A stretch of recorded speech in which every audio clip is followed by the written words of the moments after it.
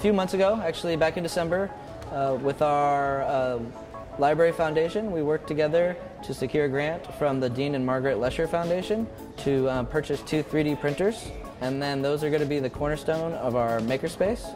Um, the makerspace is going to be an area where library patrons can come in um, and not just, you know, cruise the internet or read a book or check out a magazine, but actually build, design, and walk away with a toy, a new tool, a phone case, prototype for their new business, anything that they could think of. So Type A Machines is supplying 3D printers for the Makerspace here at the Walnut Creek Library.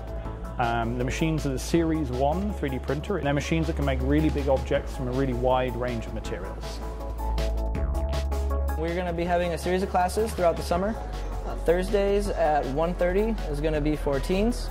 Um, and Tuesday nights at 5 o'clock will be the adult classes, and I'll go over um, how to calibrate the machines, how to create um, the designs, or find a design that's already been created, how to load it into the printer, and then print. No experience necessary. Um, I'll be there to sort of teach you and guide you through, but once you've got a little bit of an understanding, they're really easy to use, and it's for everybody, from, from little kids to people that, that don't know how to use computers. Anyone's welcome to come down.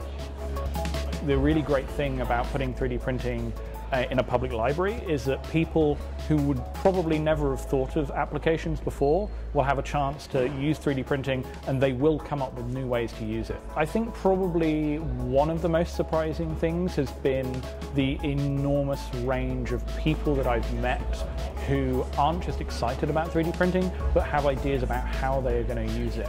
And it's, it's like the internet, but it actually makes real things. And we all thought the internet, like was an explosion of crazy possibilities. This is the internet in a box and it actually makes real things. And that's actually a little bit scary, but in a good way.